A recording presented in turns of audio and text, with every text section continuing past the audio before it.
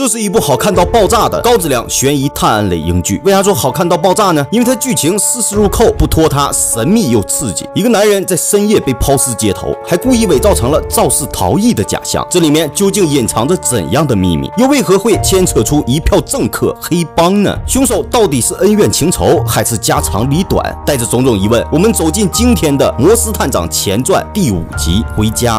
故事开始于牛津发生的一起肇事逃逸案。匆匆赶来的摩斯一眼就看出了不对劲儿，这压根儿就不是车祸，而是抛尸。因为现场根本就没有车祸的痕迹，就连最起码的玻璃碴子都没有。只是邻居们听到了一声轮胎摩擦地面的声音，而死者的随身物品呢，都是一些火柴、钱包之类的，对侦破案子毫无用处。不过就在隔天一早，巡警就在隔壁的街道上发现了一个公文包，原来死者是一名文学教授。可就在摩斯想要去调查时，教授的妻子就主动找上。说丈夫失踪了。原本昨天她应该和自己去看望瘫痪的女儿，可她却迟迟没有来车站接自己。但她妻子怎么也不会想到，自己的丈夫已经离开了这个世界。不过虽然摩斯也很难张开口，但还是通知了她去认领尸体。随后，摩斯就开始了走访调查。他来到的第一站就是教授工作的贝德利学院的办公室，而正在翻找东西的人呢，叫科恩，教授非常器重的一名弟子，在寻找一本旅行指南，顺便整理一下恩师生前借来的书籍。摩斯了解到，教授易怒、慷慨、和气，反正就是挺好的一人。而他妻子呢，更是拿自己当儿子一般，经常送饭，嘘寒问暖。不过，就在科恩走后，摩斯却捡起了他刚刚丢进垃圾桶的报纸，上面的新闻引起了摩斯的注意。开布斯山的最后一家农户，说白了就是开发商占地逼走农民的事儿。看来教授很在意这事儿啊。于是摩斯便找到了牛津邮报的女编辑肉丝儿，看看有没有什么相关的报道。还别说，真有，那就是贝德利学院打算卖出布斯山的产权。好家伙，布斯山是贝德利学院的地，对。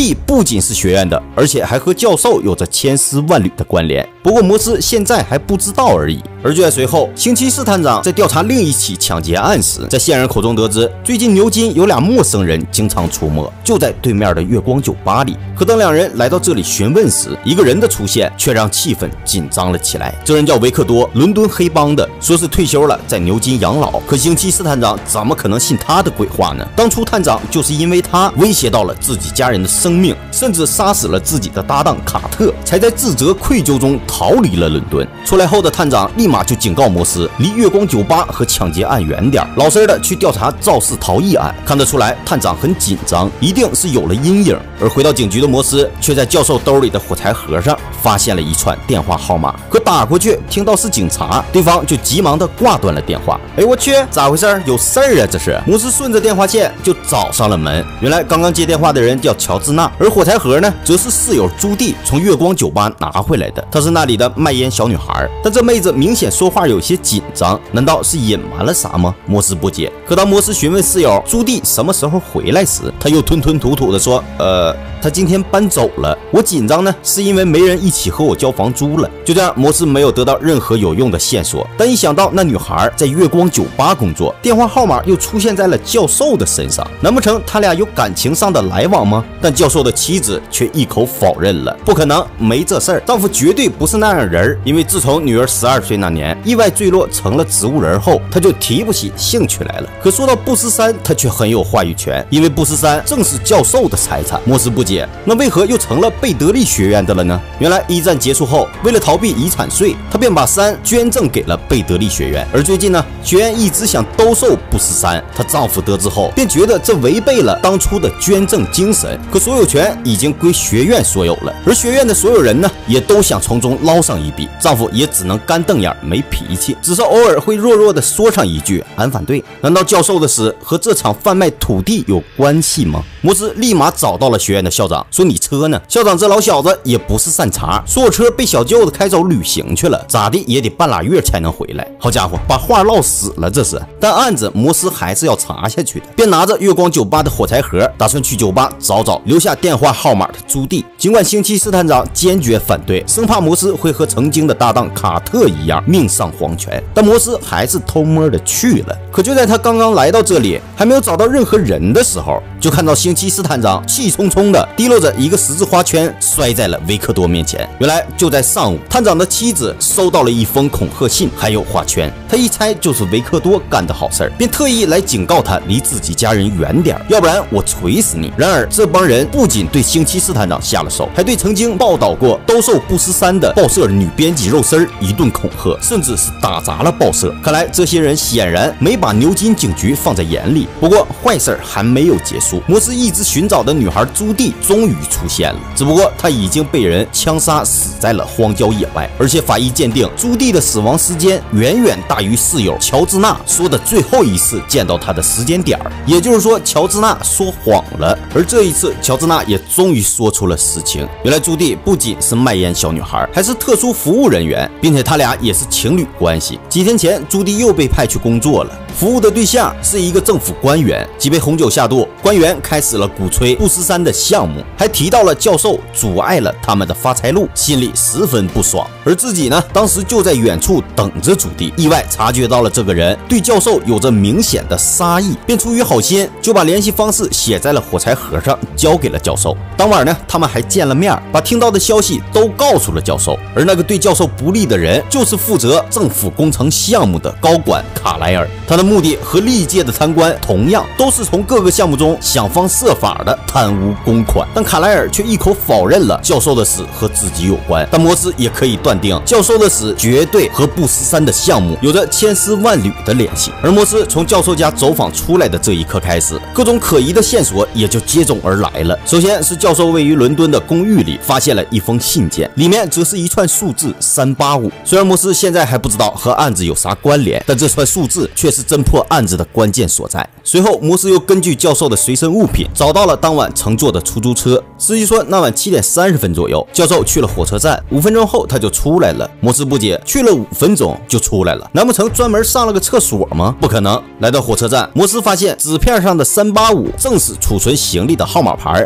原来教授当晚把一个公文包存在了这里。显然，教授一定是受到了乔治娜的提醒后，意识到了自己的生命危险，所以才把能阻止布斯三。变卖的证据藏在了这里，而里面其中的一些证据上显示，伦敦来的黑帮维克多也参与在其中。与此同时，维克多的儿子显然是已经知道了这份文件的存在，便威胁星期四探长的女儿，转告探长别多管闲事儿，否则卡特就是所有人的下场。而得知了家人再次受到威胁的星期四探长，看了一眼桌子上的证据后，正要和摩斯说什么的时候，却被一通电话打断了。原来摩斯的父亲得了重病，看样子已经是时日不多探长便把要说的话给咽了回来。然而就在把摩斯送上火车后，探长哽咽地说了一句：“我的女儿以后就交给你了。”摩斯虽然有些疑惑，但火车已经开向了远方。探长呢，则火速赶回到家中，找出了一把封尘已久的左轮手枪。妻子明白丈夫一定是要去和维克多拼命了。果然，星期四探长早就把证据偷偷塞进了摩斯的包里，转身已然来到了维克多的月光酒吧。心里话：二十年前你杀了我搭档卡特，又玷污羞辱我，直到离开伦敦，现在又。来牛津威胁我的家人，不可能，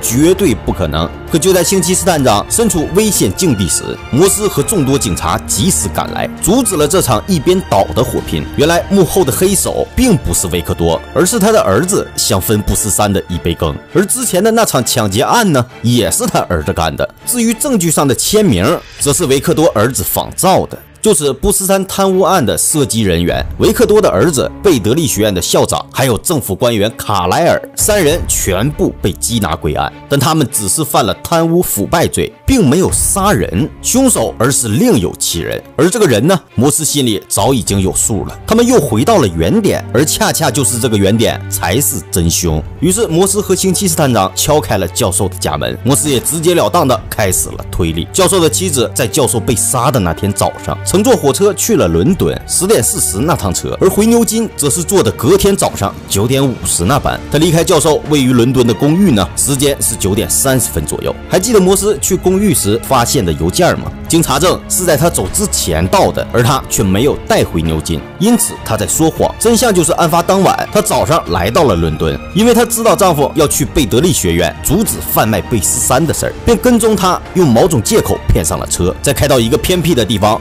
故意谎骗说车坏了。而正当教授下车检查时，她便用锤子敲死了修车的丈夫，然后又把尸体拖回到了牛津，放在了一处安静人少的街道上，伪造成了一场肇事逃逸。不过，制造车轮摩擦地面的声音，她的确很聪明。但第一次行凶的她，还是因为紧张差点露了馅儿，那就是丈夫的公文包落在了伦敦公寓。于是，她又连夜开车回到了伦敦。隔天把车盖好后，便乘坐最早的一班车回到牛津，把公文包丢在了案发地的附近。所以，那封邮件她压根儿就没有看到，因为信到的时候，她人已经离开了伦敦。至于之后被枪杀的女孩朱棣，则是被他误杀了。教授把乔治娜提醒他的事儿全都告诉了他，于是妻子便跟踪来到了乔治娜的公寓，可错把朱棣当成了乔治娜。在成功枪杀了女孩后，又返回公寓拿走了所有衣物，制造了他离开的假象。可这些推理，教授妻子压根儿就不会承认，因为没有证据，一派胡言。但摩斯却找到了细节，那就是教授门前停着的车，里程表明显对不上。案发前车正好送去了检修，而之后呢，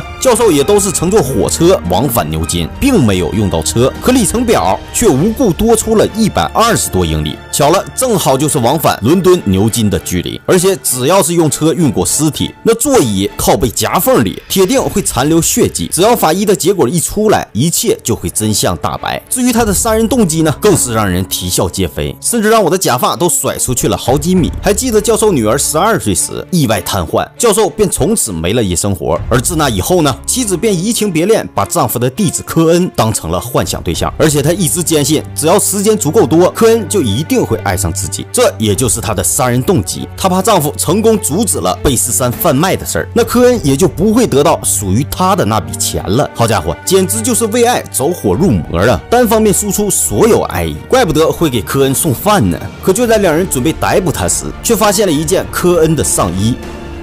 Where's Dr. Kern? Mrs. Colonel Norris? In the study. 好家伙，血！星期四探长立马去了书房，而摩斯则马上拨打电话叫救护车。果然，科恩已经死在了书房。探长意识到这老娘们心狠手辣，摩斯小命不保。不过幸好星期四探长及时赶到，摩斯只是被击中了小腿，逃过一劫。想必一定是科恩拒绝了爱意，所以才惨遭杀害。不过虽然案子被摩斯破了，但父亲离世的噩耗却已经无法挽回。他明明有机会见父亲最后一面，但摩斯却选择在中途走下了火车。拯救星期四探长的生命。看着离去的父亲，摩斯手足无措，眼神迷离。也许正是因为年轻的摩斯经历了太多人情冷暖、生死离别，才造就了之后伟大的银发大侦探摩斯探长。就此，摩斯探长前传的第五集《回家》全部结束。而之后，摩斯因为未能及时处理枪伤，中年的他将会面临跛脚的窘境。如果你喜欢酱酱熊解说的视频，还请多多点赞、收藏、分享，这是对我最大的鼓励。本期点赞超过十万，我将会在三日之内更新《摩斯探长前传》的第二季，敬请期待。